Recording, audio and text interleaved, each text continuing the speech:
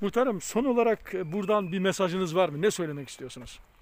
Şimdi benim şu mesajım inşallah her taraftan duyulur.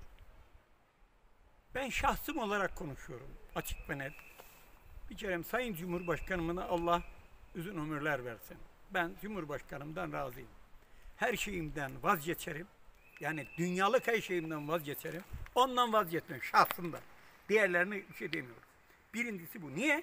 Çünkü onu olmadan önce bu memleket bölünme noktasındaydı fikirlerle.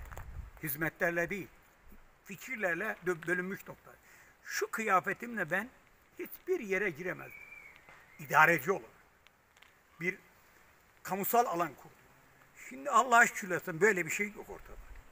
E burada tabii onların gayretleriyle mevcuttur.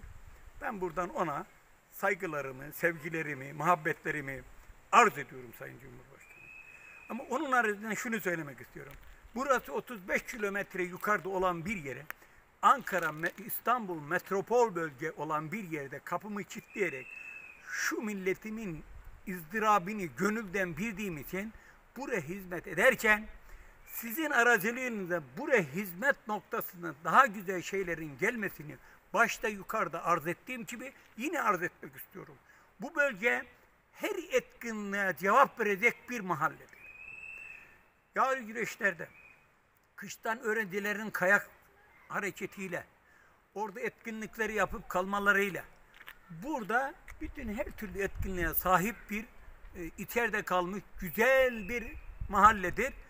Fakat buranın bu güzelliğin içerisinde, bu yapılaşmanın içerisinde, bu kadar büyük bir coğrafyanın içerisinde yollarımızın daha güzel yapılmasını, daha güzel millete hizmet edilmesini arzum budur. Bizim de düşecek olan, bize de düşecek bir görev varsa biz de buna hazırız mahalle olarak. Şu anda yaklaşık şunu söylüyorum. Beş tane camimin beşinde de oturacak, misafir edilecek bir konum var. E, Bunları hepsi vatandaşın yardımlarıyla yapmış. E, Şu anda 7 senede 2,5 milyon bir e, mahallemize hayırseverleriyle katkı yapmışız. Bunu devletimize mal etmişiz. Devletimiz var olmadıkça bizim varlığımız ortada gözükmez. Vatan bizimdir. Biz başka bir yere gidemeyiz. Biz burada birbirimizi sevmeliyiz. Birbirimizle et tırnak gibi olmalıyız. Buradan başka gidecek bir yer yoktur. allah Teala hepimize birlikte, beraberlikte memleketimizin ay yıldızlı bayrağı altında yaşamayı muvaffak eylesin. Kazadan beladan muhafaza eylesin. Bölünmek, parçalamaktan bizi kurtarsın diyorum.